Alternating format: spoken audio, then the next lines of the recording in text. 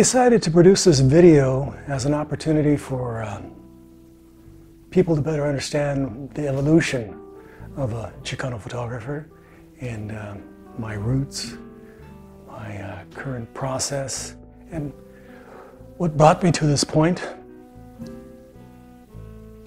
In San Jose, California, I was very privileged to uh, go to San Jose High School, a school that had two instructors who taught photography. We actually had a darkroom, and both photographers at the school, Ron Root and Prospero Anaya, took me under their wing and uh, offered me an gave me an opportunity to uh, take pictures, and quite a few pictures at that.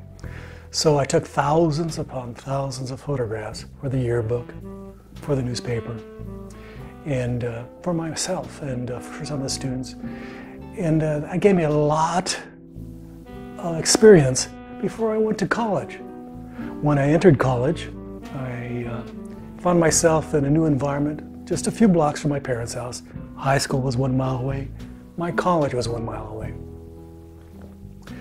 When I went to San Jose State University and entered the fall of uh, 1970, I pretty much uh, assumed the position of the school photographer again.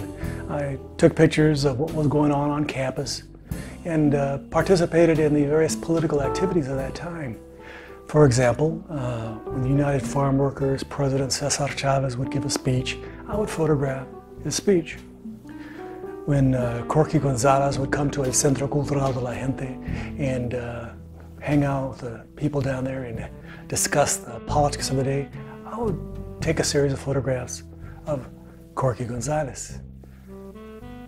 So I was in the mix, as they say. I was, I had the opportunity, I had the experience beforehand of photographing individuals and taking action photographs. So my documentary photography experience in high school helped me when I was at the university from 1970 to 1978, eight years at the university.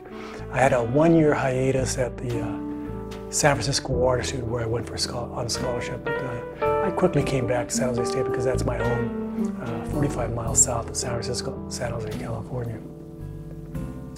At San Jose State University, I had the opportunity to really grow as a photographer.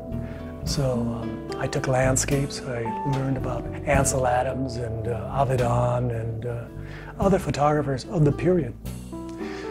I also worked in radio, I worked in television, so I got a broad understanding of the uh, impact of media on our society. I currently take photographs of landscapes, uh, communities, like for example, Wichita Falls, Texas. I take quite a few photographs of that community, or Oaxaca, Mexico.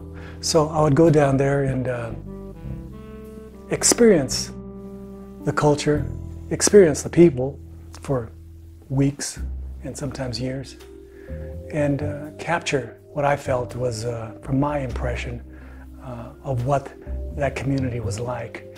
Because uh, documentary photography is your impression, not, uh, it's not the truth, uh, it's not the hard facts, it's what you uncover, what you feel is important. So as a Chicano, I covered a lot of Chicano events.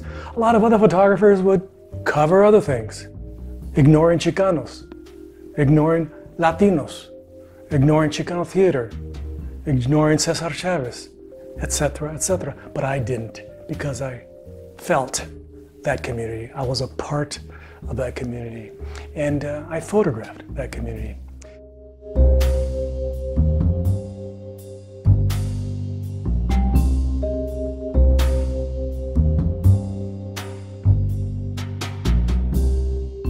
Thanks for checking out a Chicano photographer's journey. This is Jesus Manuel Mena Garza. Don't forget to like, subscribe, and share. And please check out my Patreon page. Muchas gracias. Adiós. Bye bye.